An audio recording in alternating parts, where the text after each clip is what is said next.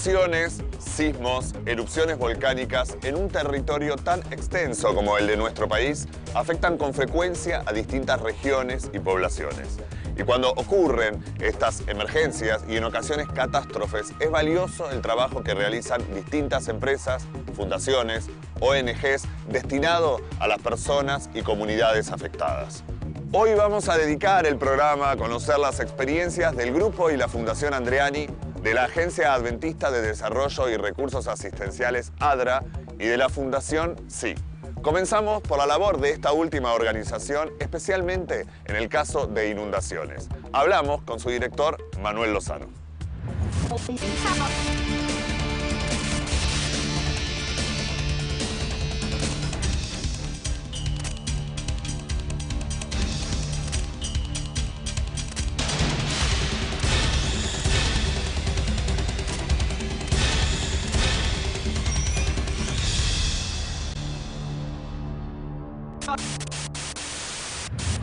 La Fundación Sí es un gran equipo de voluntarios que trabaja en la inclusión social en diferentes problemáticas. Trabajamos en educación, trabajamos con personas en situación de calle, trabajamos en todo lo que es desarrollo comunitario, participación comunitaria e intervenimos en catástrofes naturales. Ante una catástrofe natural, la Fundación lo que lleva adelante un, abordaje dividido en dos etapas. Por un lado, lo que ni bien pasa la emergencia, el cubrir las necesidades básicas, en el lugar acá donde estamos se, transforma en un centro de recepción.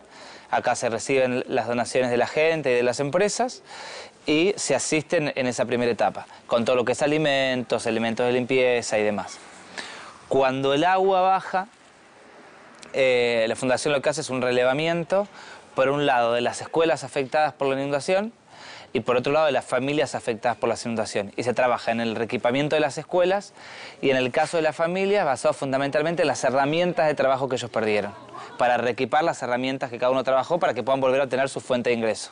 Ante una catástrofe, eh, lo que primero que podemos, eh, creo que sí se puede transmitir, eh, es cómo ayudar Digo que hay que prestar atención a quienes están trabajando en las zonas afectadas, a ver qué es realmente lo que se pide, porque las, las, necesidades van cambiando, entonces prestar atención a lo que, de quienes estamos trabajando ahí vamos pidiendo, eh, eso es fundamental porque para, para, que la carga de los camiones sea ágil, para enviar específicamente a cada lugar lo que hace falta. Si la ayuda no es organizada, muchas veces puede entorpecer. Entonces es necesario ser muy organizados. Y nosotros, a ver, vivimos en un país que es muy amplio, entonces depende de dónde ocurre la catástrofe, claramente toda la cuestión logística es fundamental para llegar a esos lugares en forma rápida. Por suerte tenemos varias empresas que colaboran con nosotros y hay un equipo de voluntarios que se ocupa ante una catástrofe de, coordinar para ir viendo bueno, cuándo van saliendo los camiones y cuál es el destino de cada uno, dónde se cargan allá y después sí, bueno, toda la distribución en la zona. Intervenimos cuando fue la inundación de abril del 2003 en La Plata, eh, intervenimos en, cuando fue las cenizas del, volcán el año pasado también. Intervenimos ahora en las inundaciones del litoral de diciembre del 2015 y en las de ahora de marzo y abril del 2016, que ahí la logística fue bastante más compleja porque las zonas afectadas eran los parajes rurales así que se tenía que descargar las cosas en ciudades un poco más grandes y de ahí, en transportes más chicos, llegar a las zonas más alejadas, que en muchos lugares había que llegar con bote, así que ahí toda la cuestión logística también fue, fue compleja. Terminamos de trabajar hace muy pocas semanas en esas zonas. Y después, una vez que, se termina toda la actividad, que lleva varios meses, pues nosotros, el, nuestro fuerte, sobre todo es después de que baja el agua, se, no solo se, se cuelga en la web, sino que se le envía a las empresas donantes y a los que colaboraron un informe con todo lo realizado, con un nivel muy minucioso de, detalle, ¿no? Cuántos martillos se compraron, cuántas heladeras, cuántos litros de pintura, cuántas chapas y así sucesivamente todas las herramientas y las cosas que se hayan comprado. Y el destino de las mismas, obviamente. Con origen en la ciudad santafesina de Casilda, el grupo logístico Andreani cumplió 71 años de actividad en nuestro país y su fundación un cuarto de siglo. Como parte de sus políticas de RSE, Andreani realiza una importante labor ante situaciones de emergencia y catástrofes. Sobre esto hablamos con las coordinadoras de la Fundación, Carolina Candia y Karina Castiglioni.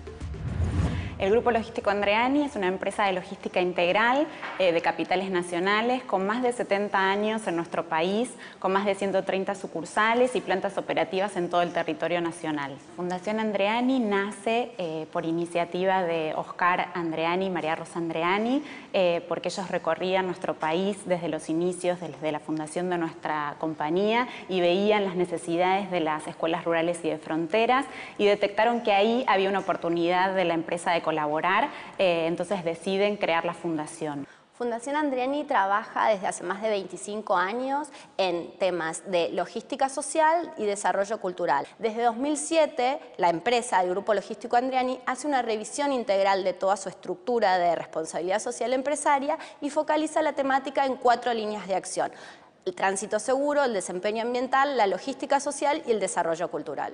El programa de logística social tiene sus inicios porque desde el inicio de nuestra compañía quería llegar con toda su capilaridad a atender los lugares donde más necesidades había. Es por eso que surge este programa tiene dos componentes, un componente de fortalecimiento del sector y un componente de vinculación con la comunidad. En el de fortalecimiento del sector trabajamos todo lo que tiene que ver con la profesionalización, tanto de profesionales como de procesos, con nuestro curso de posgrado que ya lleva más de 15 ediciones y con algunos materiales técnicos que elaboramos con un libro específico de logística, eh, de logística integral. ¿verdad? En cambio, el programa hacia la comunidad nos vinculamos con organizaciones sociales que necesitan de los recursos de logística para llegar con sus donaciones hacia escuelas, principalmente hacia escuelas de fronteras o escuelas rurales. Dentro de este mismo programa tenemos la actividad de eh, hacia la logística en emergencias, nuestro apoyo sostenido en el tiempo hacia la logística en emergencias. En caso de catástrofes, nuestra empresa siempre ha colaborado en estas temáticas.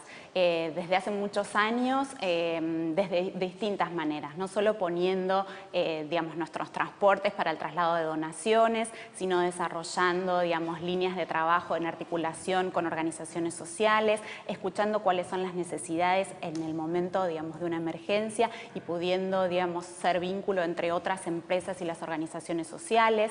hemos desarrollado digamos, mesas participativas para aprender más de esta temática, desarrollamos dos seminarios de logística para situaciones de emergencias, donde eh, digamos, la idea era conocernos, eh, poder desarrollar protocolos, eh, poder digamos, aportar desde nuestro lugar en articulación con otros para que en situaciones de emergencia digamos, todos podamos accionar y ayudar realmente a quienes más lo necesitan. Nosotros, eh, frente a una situación de, catástrofe, trabajamos en forma operativa escuchando la mirada de las organizaciones con las que nos vinculamos, que son ADRA, la Cruz Roja y Cáritas. Los llamamos al momento de que sucede una emergencia, les preguntamos qué es lo que está sucediendo en territorio, en qué podemos colaborar y no, digamos, creer que nosotros tenemos la solución o sabemos todo y, escucharlos. Nos hacen eh, hincapié en cuáles son los recursos que están necesitando, nosotros los compartimos con aquellas empresas con las que tenemos vínculo y de alguna manera se empieza como a activar un circuito. Si hay alguna voluntad de alguna compañía que quiere donar el producto que se está necesitando, lo que hacemos es empezamos a gestionar toda la operación para hacer la recogida de esa mercadería en los depósitos de la, de la empresa y acercarla hasta donde la organización social que está trabajando en campo requiere ese producto.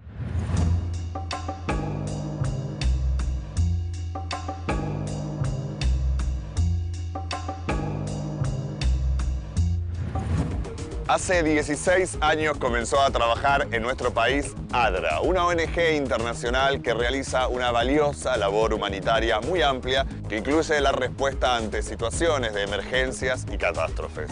Hablamos sobre estas acciones con su director de programas en Argentina, Elian Giacarini. Bueno, ADRA es la Agencia Adventista de Desarrollo y Recursos Asistenciales. Es una ONG humanitaria internacional con presencia en 130 países. Este, y ADRA en Argentina impacta la vida de cada año de unas 80.000 personas a través de sus programas. Trabajamos en tres líneas de acción principales, protección de la niñez, emergencias y generación de medios de vida sostenibles para comunidades indígenas del norte argentino. La misión de ADRA es justamente trabajar con personas que padecen pobreza y aflicción, buscando cambios justos y positivos a través de alianzas, alianzas potenciadoras y acciones responsables. Nosotros entendemos que en una situación de emergencia hay personas que no pueden esperar. Por eso nuestro compromiso es siempre llegar antes, llegar este, rápido y llegar cada vez mejor.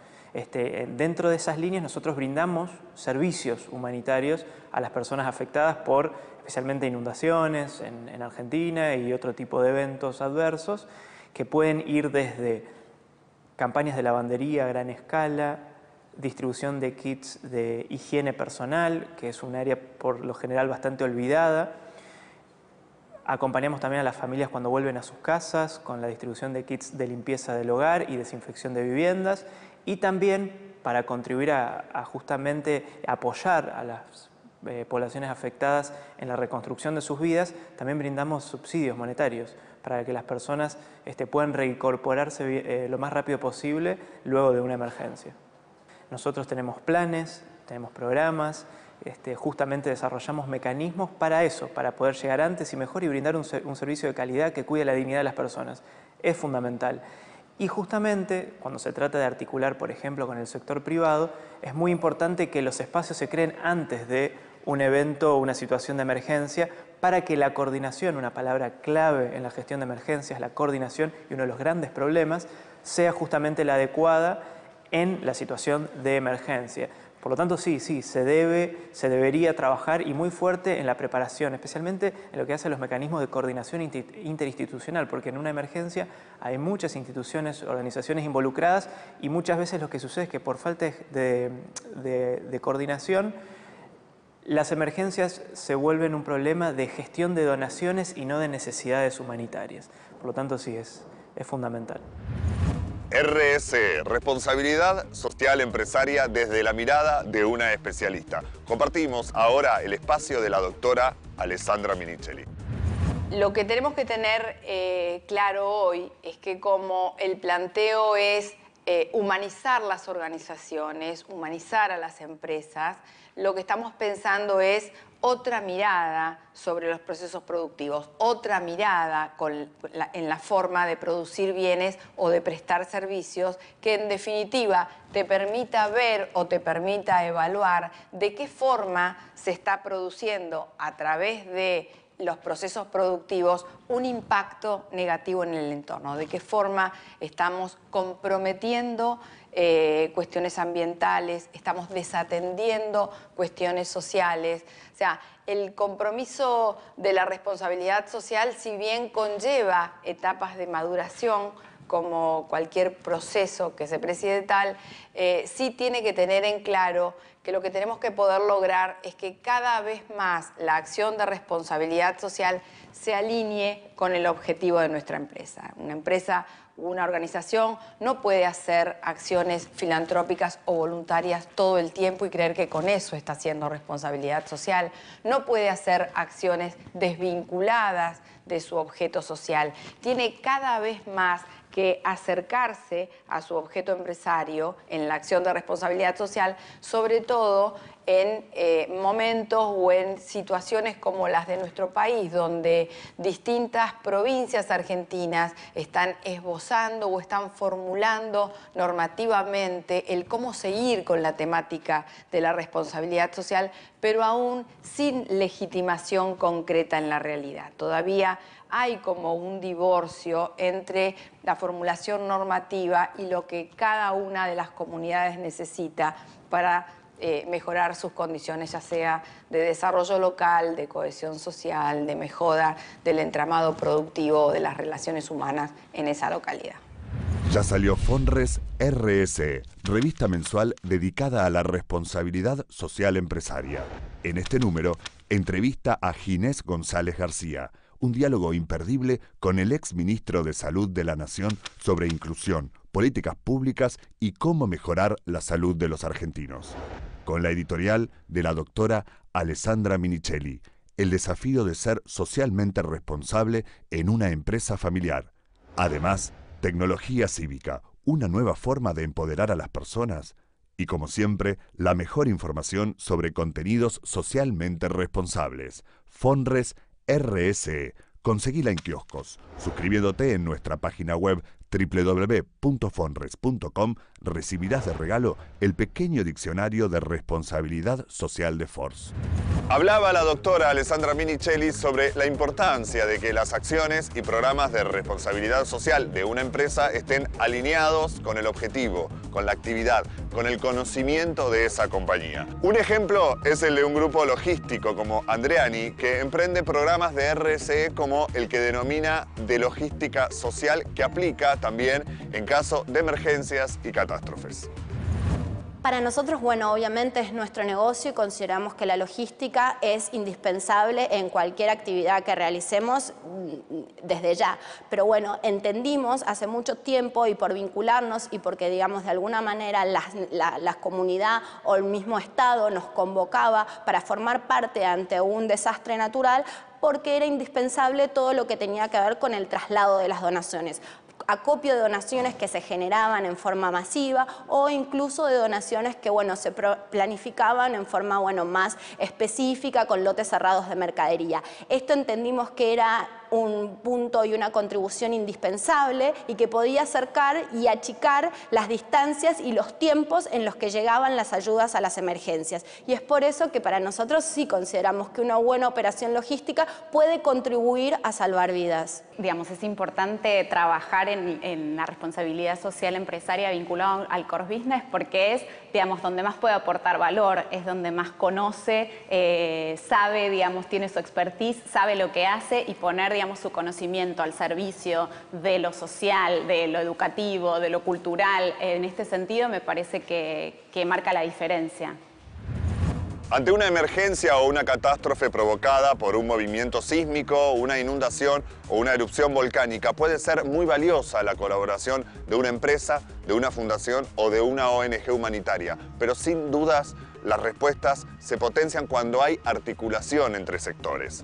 Hablamos con las referentes de la Fundación Andreani y de ADRA sobre esta modalidad de trabajo y sobre sus experiencias y ejemplos concretos de acción conjunta ante emergencias y catástrofes a nosotros, las organizaciones humanitarias, nos llevó mucho tiempo entender que justamente el sector privado, las empresas, podían agregar valor a nuestras respuestas. Éramos un poco desconfiados de las empresas hasta, que entendimos que no, que hay empresas que no solo buscan visibilidad, sino que tienen políticas de responsabilidad social realmente este, bien, bien armadas, bien diseñadas dentro de lo que es su estrategia institucional.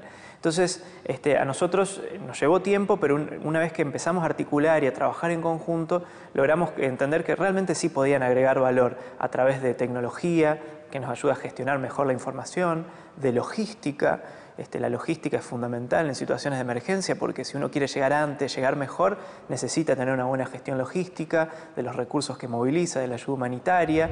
Bueno, conjuntamente con ADRA trabajamos desde hace, digamos, varios años eh, conocemos de su profesionalismo, de, su trabajo en territorio, confiamos en ellos cuando sucede, digamos, una emergencia y en otros programas en los que ellos trabajan.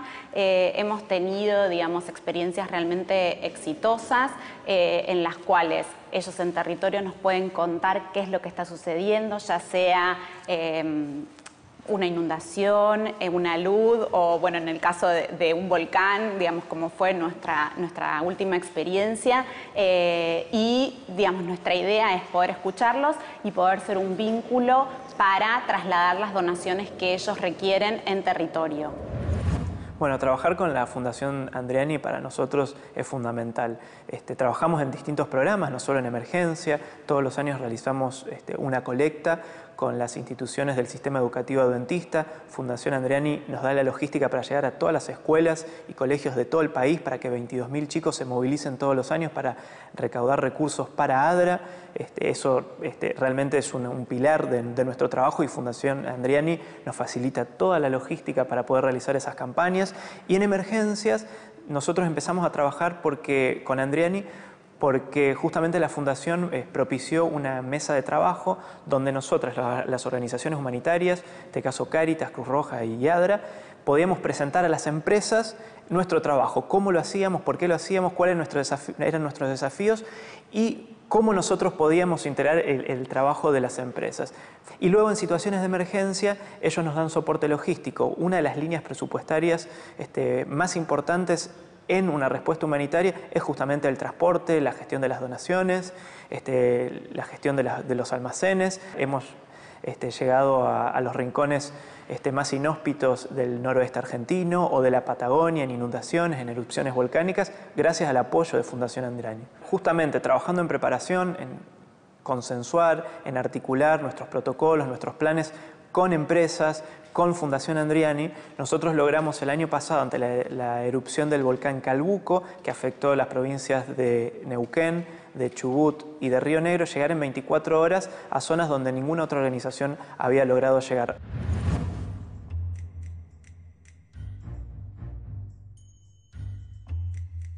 El 22 de abril de 2015 entró en erupción el volcán chileno Calbuco.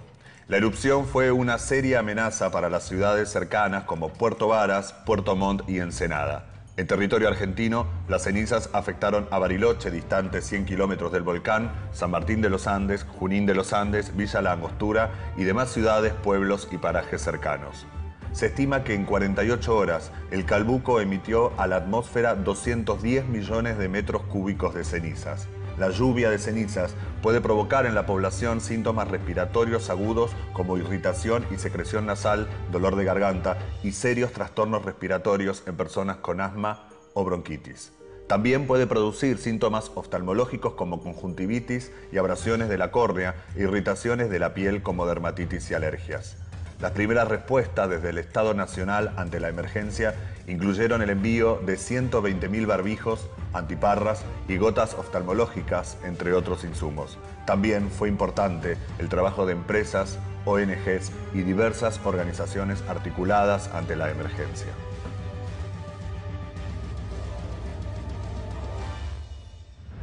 Allí lo que pudimos ver era que había una necesidad de acercar un recurso muy específico que era un respirador N95. Este respirador lo tenía nuestro cliente 3M.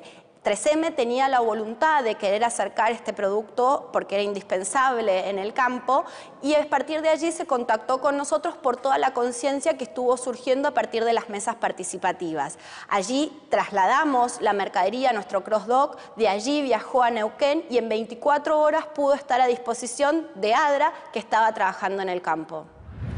En resumidas cuentas, lo que nosotros logramos ante la erupción del volcán fue en 24 horas colocar 8.000 respiradores desde Buenos Aires, 2.000 kilómetros al sur hasta la Patagonia, este, para poder apoyar y proteger justamente algo que era una necesidad humanitaria imperiosa, proteger la, respiración de, este, las, este, de las miles de personas afectadas. 8.000 respiradores, imagínate en un contexto donde cuando hay desabastecimiento de un producto los precios se disparan, ¿sí? entonces las personas no pueden acceder a, a esos productos. Nosotros poder colocar esos productos en 24 horas, facilitar el acceso a, fue justamente gracias a ese tipo de articulación. Eh, nuestras últimas experiencias que fueron realmente exitosas fue tratar de vincularnos con empresas que tienen, digamos, mercadería ya nueva, paletizada, nosotros poder recoger esa mercadería y trasladarla al lugar de los hechos. ¿Por qué, digamos? Aprendimos un poco en el trabajo con las organizaciones que a veces em, todo lo, digamos, lo que se recolecta no es lo que se necesita. Lo importante es escuchar lo que ellos nos dicen y que estas cosas, digamos, que sean nuevas, que estén paletizadas, optimizar la carga de una bodega es más eficiente y no solo, digamos, al momento de la distribución eh, a las personas que más los necesitan, no profundizamos esas diferencias, porque a veces, digamos, con las recolecciones masivas las cosas llegan en diferentes condiciones. Si bien, digamos, es excelente que todos podamos colaborar con lo que se pide, eh, digamos, esta articulación entre privados y organizaciones nos ha resultado sumamente exitosa. Sí, yo creo que algo que un, mensaje este, interesante desde, este, humildemente desde lo que nosotros hacemos como organizaciones humanitarias es que todo lo que nosotros hemos podido hacer con Fundación Andriani o como mencionamos recién el caso de 3M o otras empresas como las que hemos trabajado, es porque las empresas con las que hemos realmente, como ellos, donde hemos podido realmente este, trabajar, tenían este, la idea de la responsabilidad social empresaria no solamente como una cuestión de visibilizar a, a, la empresa, sino como una política central. ¿sí? Eso hace, eso permite que uno pueda trabajar de antemano en brindar luego soluciones cuando la situación de emergencia este, sucede. Entonces, nuestra, nuestra recomendación, por decirlo de alguna forma, es que animar a las empresas a que puedan realmente este, apropiarse de la idea de una responsabilidad social integral, introduciéndolo realmente como una política central de la empresa. Sin duda el Estado es el primer responsable en dar respuestas ante emergencias y catástrofes. Pero también es importante la colaboración y la articulación de distintos sectores. Hoy dedicamos el programa al trabajo en ese sentido de fundaciones, ONGs y por supuesto empresas comprometidas con la responsabilidad social. Gracias por habernos acompañado.